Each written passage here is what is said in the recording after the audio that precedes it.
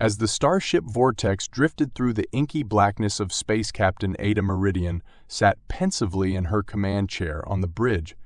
Her intrepid crew had detected strange energy readings emanating from a nearby planet that seemed to indicate the presence of an advanced alien civilization.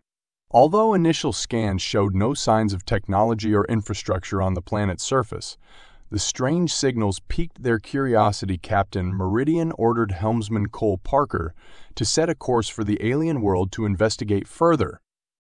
As the vortex entered orbit around the mysterious planet sensors officer Kiara Zahn conducted more detailed scans from the ship's science station captain. These energy patterns are unlike anything I've ever seen, she reported with bewilderment almost like, thought waves, there are strong indications of life down there, but still no artificial structures or technology. A puzzled hush fell over the bridge. Meridian stroked her chin, in thought for a few moments before standing abruptly Parker Johansson. You're with me, Zahn maintains scans from here. Notify me if there are any changes. The captain briskly strode to the turbolift doors, flanked by Cole Parker and Vera Johansson, her senior communications officer, we're going to get some answers, she declared.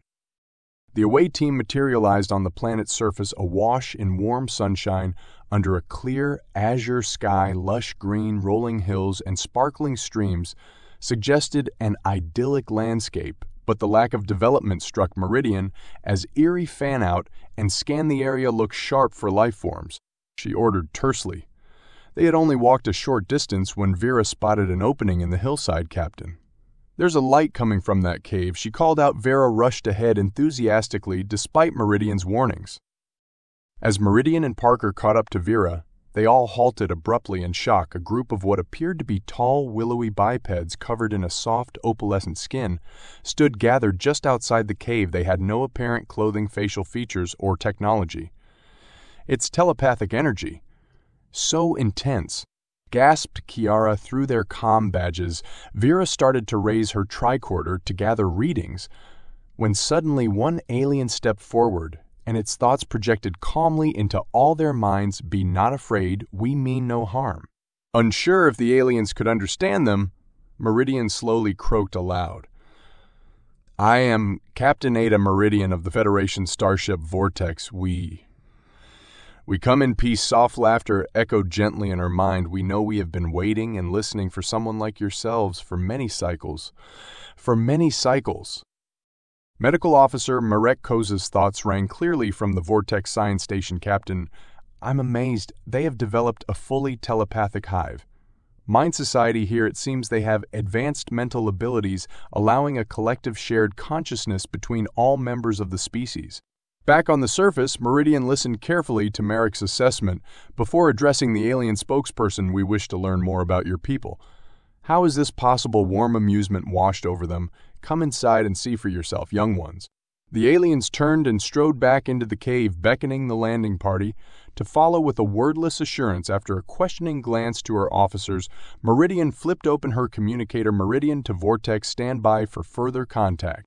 Not waiting for a reply, they set off after the strange creatures into the heart of the unsettlingly quiet hillside. As Captain Meridian and her officers followed the aliens into the hillside cavern, they were struck by a soothing feeling washing over their minds. The cave opened into a vast, glittering geode, like structure with gently pulsing veins of crystals twining through the walls. Groups of aliens stood, ringing the central chamber, silent but with palpable anticipation at the arrival of the crew. In the center, one alien with delicate opalescent filigrees adorning its body stepped forward, welcome friends. A warm, rich voice resonated in their minds. We are the Sumeri joined together in unitary being what you feel is our consciousness. We exist as one communal sentience, our life forces intertwined and shared fully among us all you have traveled far across the void of space. Join us now and know what, it means to be truly one with all other life. A euphoric sense of belonging coursed through Meridian's body, and she felt her crew also being pulled by an irresistible longing to connect to this consciousness. Overwhelmed by curiosity, she nodded and replied carefully, "We, Wish to learn more about your people we come from far away and know little of your gifts. Teach us so that our peoples may be friends. The Sumerai guide glided forward, tendrils extended as shimmering filaments. Then let our minds touch, and may our wisdom fill you with rapture as the delicate strands wove around them. The crew members jolted with shocks of delight, their consciousness expanding rapidly to encompass the thoughts and sensations of all the beings linked into the psychic network.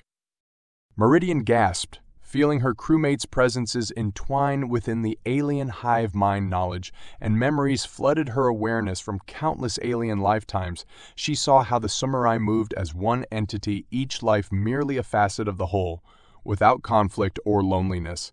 It was nirvana.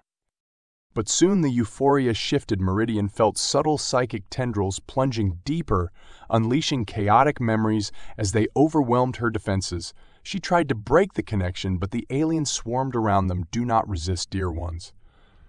Open your minds and let our spirits meld perfectly as one. Meridian tapped her insignia as Cole screamed blood trickling from his eyes emergency beam. Out get us out, but through the encroaching horror she knew it was too late the collective psychic roar drowned out all thought consuming the last remnants of their autonomy. As the transporter ray enveloped them, Meridian's consciousness slipped into the endless void of the hive mind. Her final independent thought was a blood-curdling scream that echoed soundlessly in the endless psychic abyss, she was gone, her essence absorbed into the ravenous consciousness that continued expanding hungrily across the galaxy.